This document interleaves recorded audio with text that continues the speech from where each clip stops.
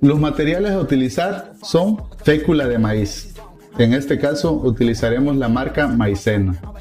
También utilizaremos lo que es un silicón transparente, que es multipropósitos y este lo podemos conseguir en cualquier ferretería. Vamos a necesitar de un rodillo. ¿sí?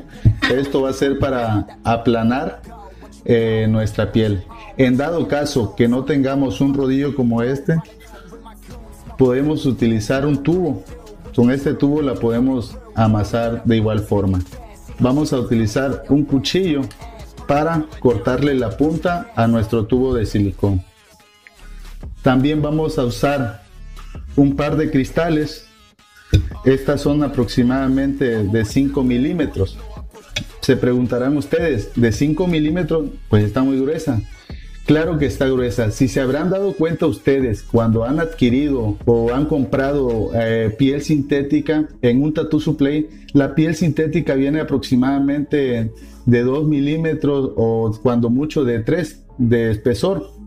Lo que aquí busco es de que darle un grosor mayor para que cuando estemos realizando la práctica podamos simular que estamos tatuando cualquier parte del cuerpo.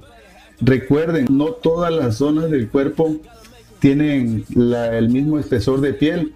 Es por ello de que estoy tratando de hacer más gruesa la piel sintética para que haya prácticas que introduzca 2 milímetros, un milímetro y medio, otras donde necesite 3, otras donde necesite 4, etc. Algo muy importante que se me había pasado es el uso de nuestros guantes de nitrilo o de látex.